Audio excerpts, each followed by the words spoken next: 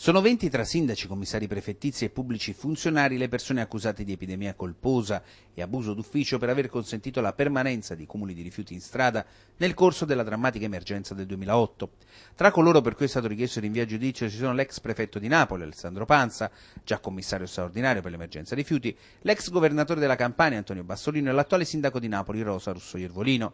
Gli indagati, la cui posizione è stata stralciata, sono quelli che hanno dimostrato di aver preso provvedimenti come lo spargimento di calcio o la creazione di appositi siti di stoccaggio per evitare che la presenza di rifiuti in strada causasse malattie ai cittadini. L'udienza preliminare per i 20 di cui la Procura ha chiesto il giudizio si svolgerà davanti al GUP Raffaele Piccirillo. Sull'argomento si è espressa il sindaco di Napoli che ha manifestato perplessità ma soprattutto serenità. Mi sembra sano parlare di epidemia, dice la Iervolino, perché ci sono le dichiarazioni del ministro della Sanità e degli enti preposti come l'ASL che affermano non esserci stata epidemia.